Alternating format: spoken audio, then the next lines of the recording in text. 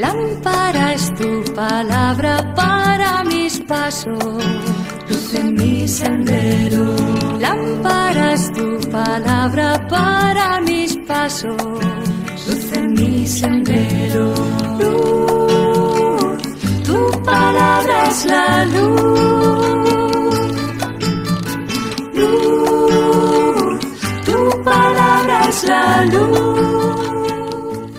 Lámpara es tu palabra para mis pasos, luz en mi sendero.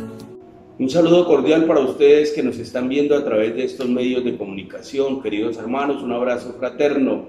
El domingo anterior eh, celebramos la solemnidad, la fiesta de Cristo, Rey del Universo.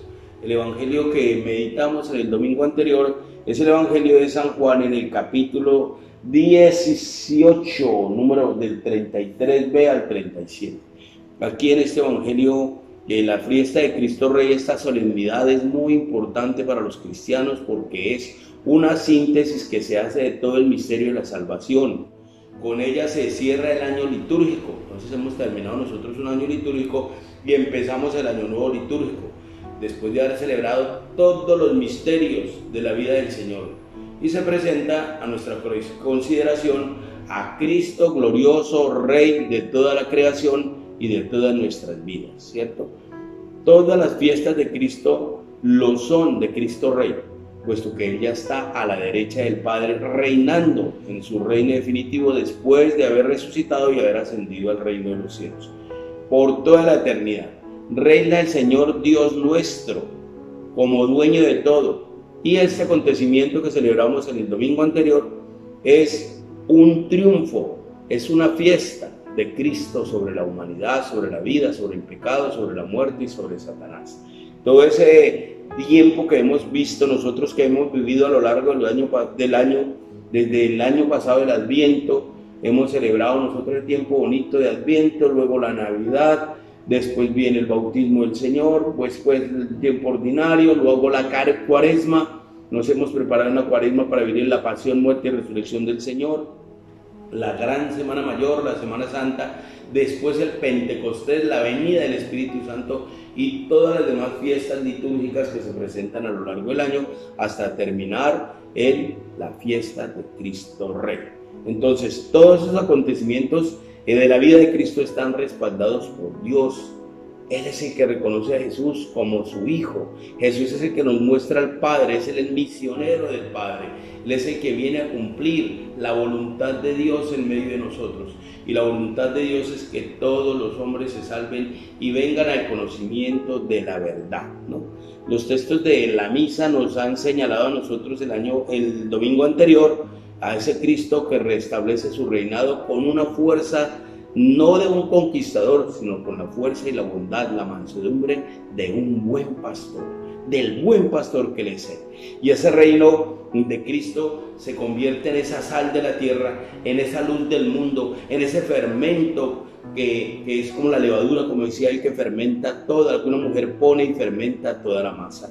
Son unos signos de salvación para construir un mundo mejor, un mundo más justo, un mundo más fraterno, un mundo más solidario, que está inspirado en todos los valores del Evangelio, en la esperanza, en la alegría.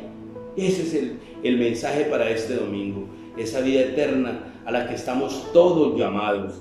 Por eso nosotros en este día, en la fiesta de Cristo Rey, lo que se anuncia es el reino de la verdad, el reino de la vida, el reino de la santidad, un reino de la gracia, un reino de la justicia y un reino de la paz. Es lo que nos viene a traer Jesús a nosotros. Eh, las lecturas en esta semana son apocalípticas y durante el, tiempo de Adviento serán también un poco apocalípticas. Pero ese apocalipsis nos habla el libro de la revelación. Ah, nos hablan ya del fin de la historia, la parucía la segunda venida del Señor. Y en ese fin de la historia Toda la sociedad en este ambiente nos está asustando, que ya viene el fin del mundo, que ya viene la época apocalíptica, que ya viene que la destrucción, que los terremotos, siempre ha habido terremotos, siempre ha habido temblores, inundaciones, siempre ha habido cosas eh, extrañas para nosotros, dolorosas para nosotros, pero que a lo largo de la historia los hemos tenido. Nadie sabe ni el día ni la hora. Pero el Señor hoy nos quiere decir, no tengan miedo, tengan esperanza. Ustedes son cristianos, hijos de Dios. Se van a encontrar es con el ser amado. Les han prometido una tierra a los israelitas y les han dado la tierra Jerusalén como la tierra, ciudad de Dios, la ciudad santa, la ciudad de la paz. A nosotros Dios nos promete un cielo un lugar construido no por las manos del hombre, sino por las manos de Dios. Y por eso no podemos tener miedo. Dios construyó para la vida todo el universo, esta tierra, construye al hombre para la felicidad y le da todo cuanto existe para que sea feliz en esta tierra, no para que viva amargado, en las tristezas, en los dolores. Cuando entra el egoísmo, la prepotencia en el corazón del hombre, cuando el hombre se quiere adueñar del mundo y quiere suplantar a Dios a través de la ciencia, ahí es donde perdemos el horizonte, porque nos arrastran por unas corrientes que no son los pensamientos ni son los sueños de Dios con el hombre. Dios hizo el hombre por amor, para la salvación, para la vida eterna. Lo único que está predestinado es a ser santo y a participar de la vida eterna. No tengamos miedo, no nos dejemos arrastrar por esas corrientes, por todos esos mensajes que aparecen tan desesperanzadores, porque nosotros vivimos en la esperanza de la salvación, del encuentro con un Dios para ser felices eternamente con Él allí en el reino de los cielos. Un feliz día para todos y una feliz semana. Y recordemos, vivamos con esperanza y con gran alegría. Feliz día para todos. Un abrazo por mí. Lámpara es tu palabra para mis pasos, luz en mi sendero. Lámpara es tu palabra para mis pasos, luz en mi sendero. Luz, tu palabra es la luz.